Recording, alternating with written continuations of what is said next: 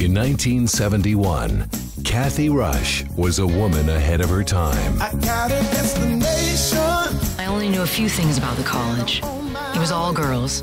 Their basketball team wasn't very good. And the school was founded and run by the nuns. We're going up the team, right? Why? So we can continue to get crushed by all the bigger schools? We're in.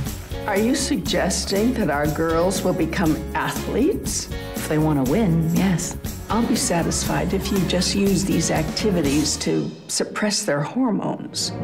She already has a husband. Why would she want to work? We know she's married you, right? Ed Rush, the NBA rep. She had the faith to dream big Girls' locker room? Right through there, door marked ladies' room. and the passion to change lives. One, two, three, team. Fight for it.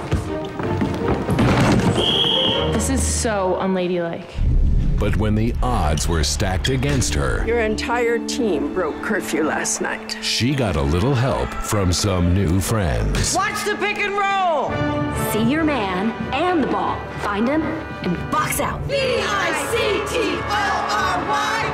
Carla Gugino, David Boreanaz, and Academy Award winner Ellen Burstyn, based on a true story where sometimes for every team that thought they never had a chance. when you believe in a dream, that dreams are only for rich kids. Now, dreams are for everybody. But you have to believe it. miracles happen.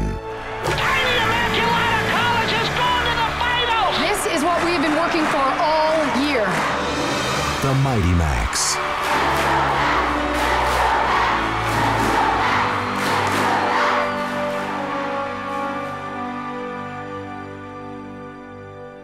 Don't you get hot in these things? It ain't easy, sister.